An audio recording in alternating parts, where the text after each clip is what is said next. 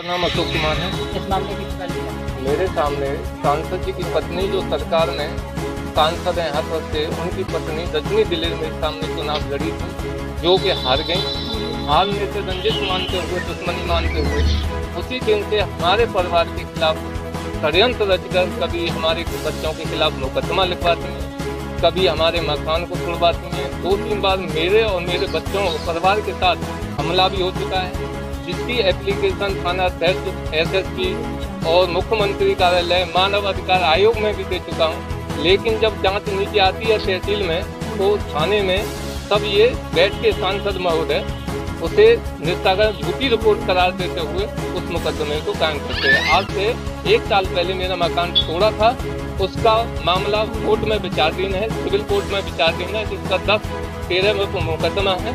लेकिन कोई न्याय नहीं मिलता। सब अधिकारी दबाव बनाते हुए हमारे खिलाफ षडयंत्र रचते मेरा मकान तोड़ के छियासी नंबर पे अब मेरे खिलाफ कब्जा लग, कब्जा कर लिया है, जिसमें लोगों, ग्राम पंचायत का वो पंचायत घर बता रहे हैं जबकि स्वयं उस पर कब्जा कर रहे हैं। सतासी नंबर मेरे मेरे घर से मेरे मकान से दूर है आज हम कलेक्ट्री में और एस एस पी साहब के लिए न्याय इसलिए लेने आए हैं कि हमारे बच्चों के खिलाफ झूठा मुकदमा तीन सौ सात का सांसद जी के दबाव में लिख दिया गया है। अगर हमको न्याय नहीं मिला तो हम अपना पूरा, अगर हमें परमिशन मिल जाए या हमको कोई कानूनी विचार विमर्श करने के बाद अपना धर्म परिवर्तन करने ऐसे समाज में रहने से धर्म में रहने से क्या फ़ायदा? जब भारतीय जनता पार्टी की सरकार उत्तर प्रदेश, जबकि मैं भारतीय जनता पार्टी में ही रहा, भारतीय जनता पार्टी का कार्यकर्ता हूँ, लेकिन तब भी मेरे साथ अन्याय हो रहा है, इसीलिए अब मैं इस पार्टी को छोड़कर और अपना धर्म, हिंदू धर्म से ताल्लुका छोड़ते हुए अपना धर्म परिवर्तन करना चाहता हूँ।